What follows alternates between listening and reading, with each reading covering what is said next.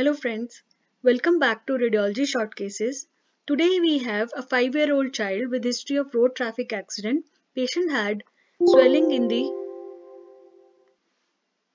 elbow region on the right side. Therefore, radiographs of the elbow were performed. So this is the first radiograph, lateral radiograph of the elbow. So what we see here, we can see there is a lucency here and slight displacement of the fracture line so there is supracondylar fracture in the distal humerus, which is the weakest point in the humerus and commonly seen in pediatric population.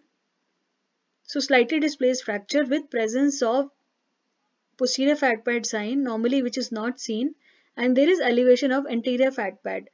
Anterior fat pad sign is also known as sail sign. So these two are indicative of joint effusion.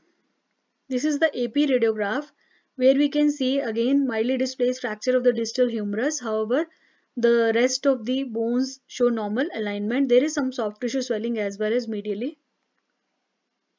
This diagram is to show you anterior humeral line. Anterior humeral line should intersect uh, middle third of the capitulum. It is drawn from the anterior cortex of the distal humerus. When it doesn't intersect the capitulum, this means there is supracondylar fracture, particularly extension type. So, based on these findings, the diagnosis of right supracondylar fracture of the humerus with small joint effusion slash hemarthrosis was given. Now, supracondylar fractures are commonly of two types. One is flexion type and extension type.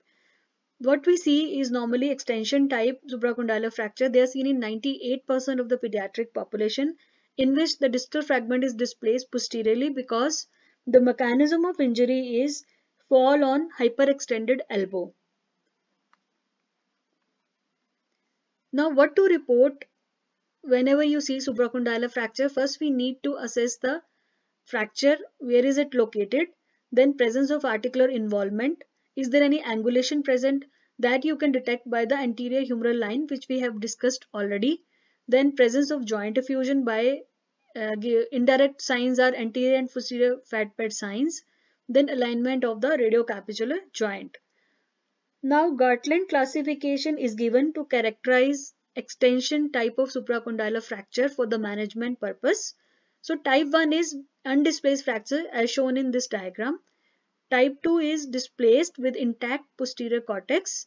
So in these two Normally, conservative management with cast and reduction can be done. Completely displaced fracture is type 3. So, either there is posterior-medial displacement or posterior-lateral displacement. And type 4 is when there is some rotational element and there is complete uh, displacement of the fracture with periosteal disruption. So, in type 4 fractures, normally surgical management is needed. So, this is how the Gartland classification helps us in management of the patient. Thank you for watching.